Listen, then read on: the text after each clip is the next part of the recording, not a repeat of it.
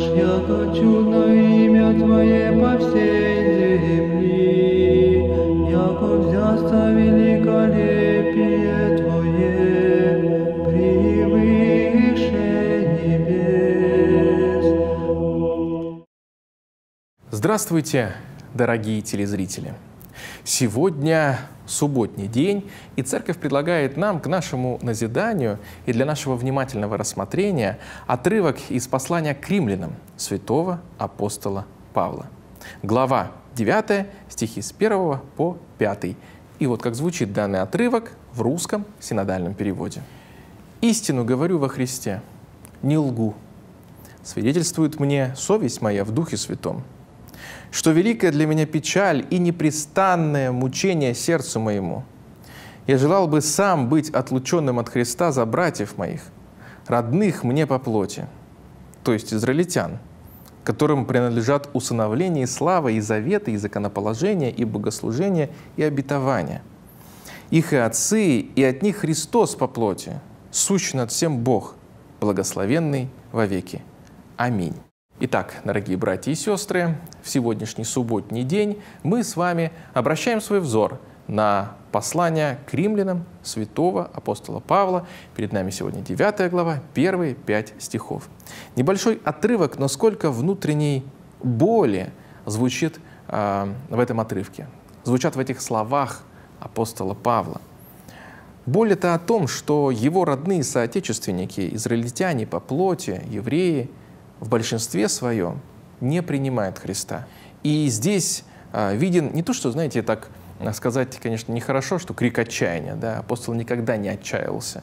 Это человек твердой веры и твердой надежды, который до самой смерти убежден был в действии Бога а, и в истине Евангелия, а, и для которого смерть на самом деле не стала концом, а наоборот стала приобретением, как он сам об этом говорит.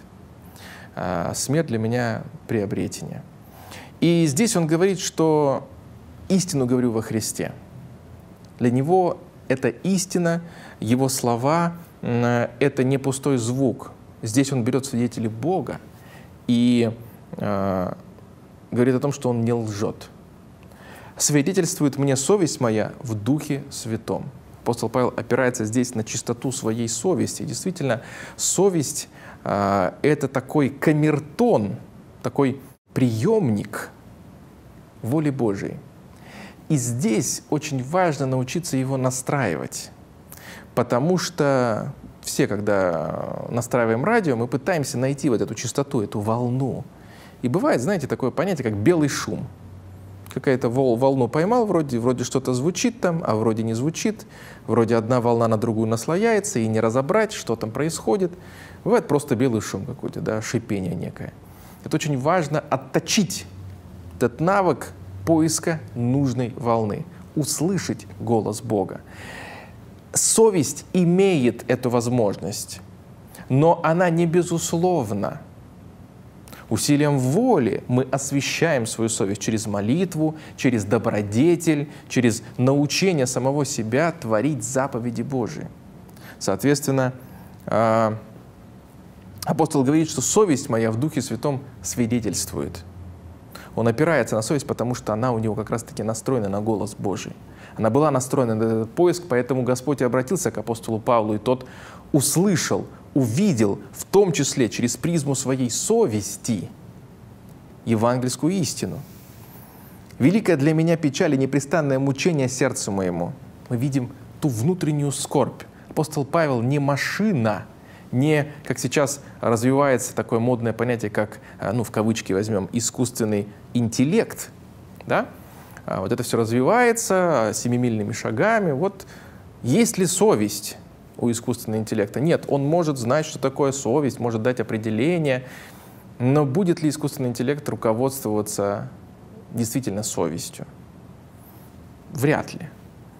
И вот те эмоции неподдельные, которые есть у апостола Павла, они показывают всю а, живость его сердца, в котором, как сказано будет в послании к Коринфянам, он говорит, что Коринфяне, в моем сердце для вас, для всех есть место, а это сотни, тысячи людей.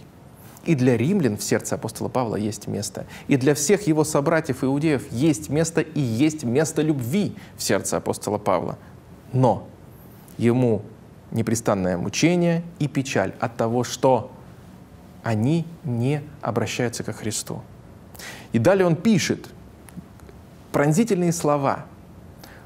Действительно, здесь мы видим, э, что в греческом языке э, называется агапе или агапи, да, как по-разному можно прочитать, э, жертвенная любовь, высшая любовь согласно учению Христову. Я желал бы сам быть отлученным от Христа за братьев моих родных мне по плоти. Сам отлучиться, то есть принести себя вот в такую в жертву. Такой, это крик сердца апостола Павла. В этом очень много жизни, в этом очень много боли самого апостола Павла, который понимает, понимает, что чего лишают сами себя собратья, от чего они отказываются – от спасения, от истины, от истины Евангелия Христова. И поэтому вот такие радикальные меры он предлагает, и не лукавит, действительно, он готов был бы на это пойти. Но в то же время это, скажем так, риторический прием, который на самом деле известен ответ. Они не примут эту жертву. Они не принимают жертву Христа.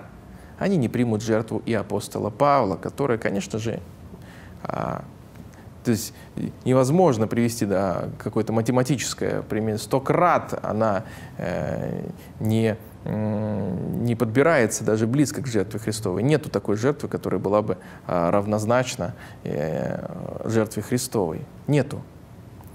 Но этот пример еще раз показывает, что, знаете, есть такое хорошее, простое выражение, э, емкое. Оно говорит, невольник — не богомольник. Действительно, к Богу искренне, от чистого сердца можно прийти только добровольно. Нет, можно лицемерить, конечно, а, можно быть э, в конъюнктуре, можно очень хорошо все знать, все делать, но искреннего сердца верующего не будет у тебя. И люди не заметят этого, не увидят. Только косвенно потом по поступкам каким-то они это поймут, но уже задним, как говорится, числом. А, а так можно так сказать, казаться, а не быть. И вот апостол Павел э, говорит о том, что он жив для э, проповеди, и, и в то же время э, иудеи не хотят этой жизни апостола Павла, э, жизни его проповеди. И вот когда я говорил о том, что вот это лицемерие, оно, оно может быть, да, но а, истинного богомольца не получится из такого человека, лицемерного. И а, действительно, ко Христу можно прийти только искренне. И Господь-то видит сердце. Это нас, людей, можно обмануть. И то не всех. Да. И обманывать тоже тяжело, особенно совестным людям. Так вот, они а, эти лицемеры, они не попадают в цель, это все равно грех.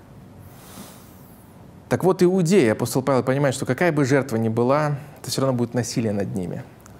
Богу нужна свобода. Свободное верующее сердце. И весь опыт церкви — это как раз-таки опыт вот такого ненасильного приведения к Богу. Я знаю пример людей, которые были неверующими долго — Потом до них как-то дошло, что вот надо бы креститься. Не буду говорить подробности, но, в общем, в районе 40 лет человек принимает крещение, а, а потом, спустя 20 лет, он говорит, а мне бы начать читать Евангелие. И начинает читать Евангелие, начинает изучать. Все постепенно. И церковь всегда долготерпеливо ждет каждого человека. У каждого свой срок, свое время, поэтому никогда не смотрите на чужого раба как говорит апостол Павел в послании к римлянам, он перед своим господином стоит или падает, но господин силен восставить его. У каждого свой срок, никого не осуждай. И апостол говорит о том, что израильтян, то есть за израильтян он переживает, которым принадлежит усыновление, слава, и завет, и законоположение, и богослужение, обетование, то есть вся традиция ветхозаветная им все принадлежит, а они скажем так, превратно это все толкуют и понимают и используют. Их и отцы, от них Христос по плоти, сущий над всем Бог, благословенный во веки. Аминь. Да, то есть и Христос от них произошел, но они все равно не принимают. Поэтому невольник, не богомольник, дорогие братья и сестры, надо это запомнить себе. И прежде чем проповедовать, проявлять любовь и милосердие. Поэтому, дорогие, будем молиться и помнить о том, что когда мы молимся, мы обращаемся к Богу. А когда читаем Священное Писание, Бог с Его страниц обращается к нам. Всем радости о Господе и до новых встреч. Господи,